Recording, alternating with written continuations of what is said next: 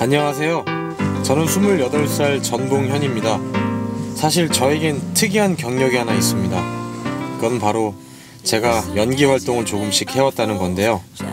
물론 알아보시는 분보다는 잘 모르시는 분들이 더 많아요. 아무래도 저는 그걸 이끌어가는 중요한 인물은 아니었거든요. 하지만 이것 하나만큼은 자신할 수 있습니다. 지켜봐 주세요. 마스터 셰프 코리아라는 무대의 주인공은 바로 저 전봉현입니다. gotta